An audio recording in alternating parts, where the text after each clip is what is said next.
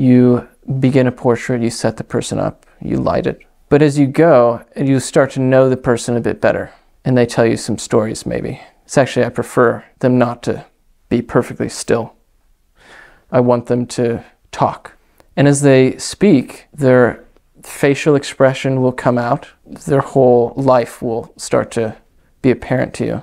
I've had people tell me they have uh, diseases that will kill them at some point, but they're just thinking about it in front of you, thinking about the end of their life.